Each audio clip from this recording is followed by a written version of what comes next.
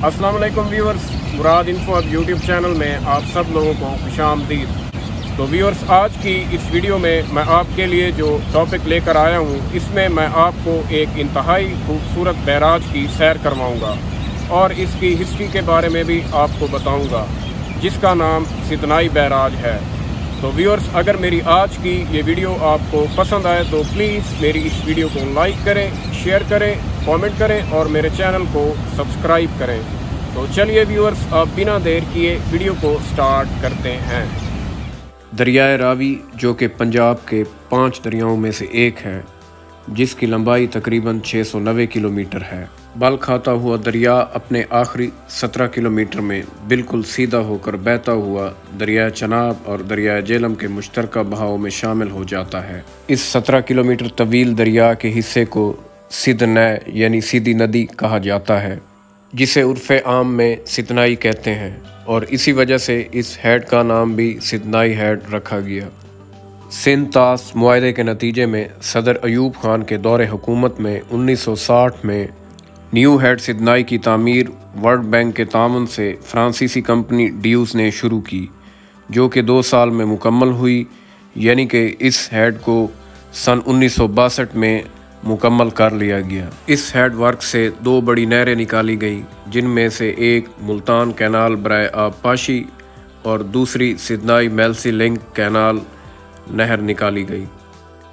इस head works पे बने पुल से अब्दुल हकीम पीर महल सड़क गुजरती है, जिससे मुल्तान सतासी किलोमीटर और फैसलाबाद 140 किलोमीटर के फासले पर वाक़ है। उन्नीस सौ बासठ से लेकर अब तक मुख्तलिफ़ अदवार में ये हेड सैलाबी रेलों का भी शिकार हो चुका है, जिनमें से तीन बड़े सैलाबी रेले काबिल ज़िक्र हैं। पहला सैलाबी रेला 1973 में आया और इस हेड के लिए ख़तरे की घंटी साबित हुआ, लेकिन ये हेड चट्टान की तरह इसके सामने खड़ा रहा। दूसरा सैलाबी रेला 1988 में और तीसरा सैलाबी रेला उन्नीस सौ बानवे में आया। 1988 में आने वाला सैलाबी रेला सबसे बड़ा और ख़तरनाक था, लेकिन ये हेड इसके सामने भी सीसा पिलाई दीवार साबित हुआ। आप पाशी के अलावा ये हेड टूरिस्ट्स के लिए सैरगाह भी है। ईद और दूसरे त्योहारों के मौका पर सियाहों का यहाँ रश होता है। ईद के मौका पर तो ख़ास तौर पे यहाँ बहुत ज़्यादा रश होता है। ईद के तीन दिन यहाँ लोग सैर सियात के लिए आते हैं। तो व्यूअर्स इस हेड की एक ख़ास बात यह भी है कि इस हेड के मेन पुल के ऊपर से एक नहर भी गुज़रती है, जो कि बहुत दिलकश नज़ारा पेश करती है। उसके कुछ मनाजिर ये आप तस्वीर में देख सकते हैं। तो व्यूअर्स इस हेड पर एक बहुत ही खूबसूरत रेस्ट हाउस भी मौजूद है, जहाँ लोग आकर पिकनिक वगैरह भी मनाते हैं और इस हेड के दिलकश नज़ारों से लुत्फ़ अंदोज़ भी होते हैं। तो इसके अलावा इस रेस्ट हाउस के सेन में बहुत ही ज़बरदस्त किस्म का ग्रासी प्लाट भी मौजूद है, जहाँ से टूरिस्ट हेड के दिलकश नज़ारे से लुत्फ़ अंदोज़ होते हैं। तो व्यूअर्स, इस हेड की एक ख़ास बात ये भी है कि जिस जगह पर यह हेड वाक़ है, वो जगह ज़िला खानेवाल की हदूद में आती है। तो व्यूअर्स, जब आप इस हेड के मेन पुल को जनूब से शुमाल की जानब क्रॉस करते हैं तो क्रॉस करते ही ज़िला टोबा टेक्सिंग शुरू हो जाता है।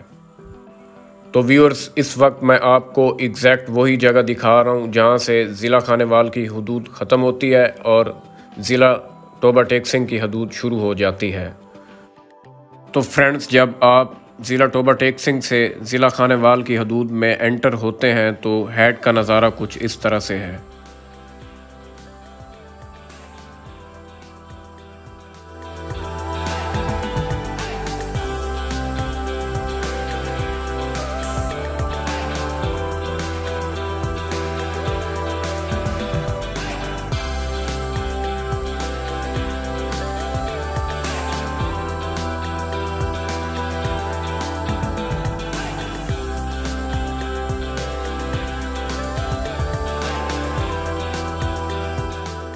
तो व्यूअर्स इसके अलावा इस हेड पर ताज़ा मछली के ढाबे और होटल भी मौजूद हैं, जहाँ पर आप जाके ताज़ा फ्राई मछली खा सकते हैं।